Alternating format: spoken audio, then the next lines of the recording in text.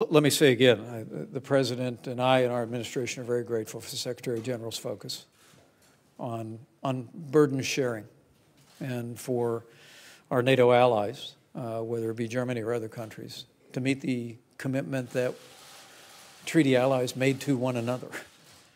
Um, I think it's a demonstration of President Trump's leadership that before taking office, he was speaking about.